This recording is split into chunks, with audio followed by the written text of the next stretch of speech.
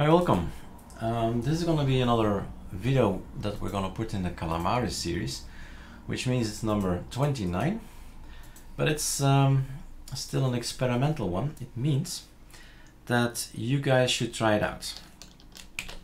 And I'm trying to try it out in VirtualBox first, and that's best thing to do always like that. And it's all about encryption. On the forum, people said, okay, Erik, there's a, I've made a video how to encrypt uh, with Calamares, but it seems to be slower than the one and they compare with Antergos. So that uh, set me thinking and I went to, to Google and, and learn and watch videos and watch uh, read articles and so on. And it came to the conclusion that the Calamares installer is um, the way I install it in the other video. So crypt setup works, the encryption works, but if you do it like this, let's show you, it's always more easy to show. So you can do this and then I do an encrypt system and then I type my password and go. That's gonna work. So that's the other video that's gonna work. Um, but so it ends up into a system where you boot up around 50 to 15 to 18 seconds. And um, that made me think maybe we should not stick to the automatically and go for a manual partitioning. So that's what we're gonna do, a different kind of partitioning. And if you don't see anything here, use the magic button. Yes, it is there. Okay, free space. What we're gonna do is create everything, well, not everything, but we're gonna create things manually. And 500 megabyte or even 400 megabyte is gonna be enough for our boot. That's what, what we're gonna do different than the other video. We're gonna say that our mount point, the boot, is not going to be encrypted. Not. And ext2 as boot up. Not encrypt, no flags needed, 500 megabytes all set up. That's that. And the rest of the space, that we are going to encrypt.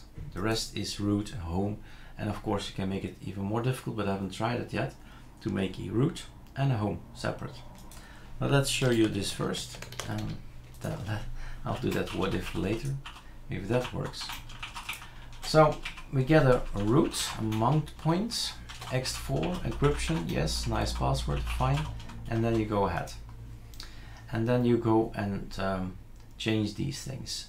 Let's check ext2 boot LUKS slash go, right?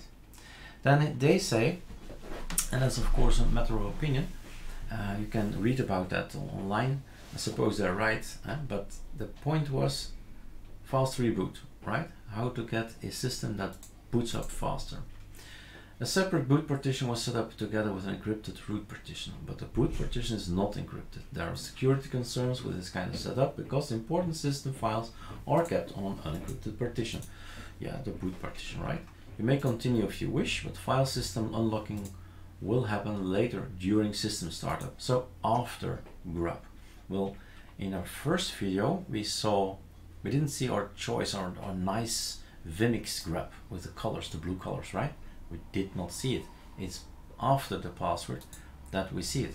In this video, we'll see the password come up after grub. That's the difference, and that's why it's faster to boot up. Okay, what's your name? Like I said, uh, try this out. If users confirm under the video, Erik, it's not beta, it's working, then it's fine by me. But somebody should really test this on uh, not only on VirtualBox, but also on real metal to see if everything works. Mean, if it's as fast as uh, booting up normally. Here on my machine, Linux boots up in 8 seconds. So if I try this out on, my laptop later on, it should boot up as fast, let's say 8 to 10 seconds. Right, there must be some margin for all the encryption, but it should boot up um, quite fast. Let's pause the video here. Alright, um, I just restarted, it said done, uh, forgot to press record here. So, some messages, newly installed computer, you know how it is. And then we boot off from the existing OS. So, we've installed it, we reboot, we use the ISO. This is normally not done. I mean, this is normally not, not um, the way in the other video, it's not like that. Let me shut down my uh, all my communications here so we don't see these pop-ups. That's that. So again the other video we encrypted our calamares we via calamares we encrypted our system and we encrypted everything. So also the boot which means when you boot up you don't see the colorful group grub uh, it's before that that they ask the password. Here it's after the grub they ask the password in this setup and now we're gonna count right? So when you type in your password and you start zero, one, two, three, four, five, six, seven, eight, and it's normally in 8 seconds that I should boot. So here when we set it up like this, it's no difference between a encrypted or a not encrypted system.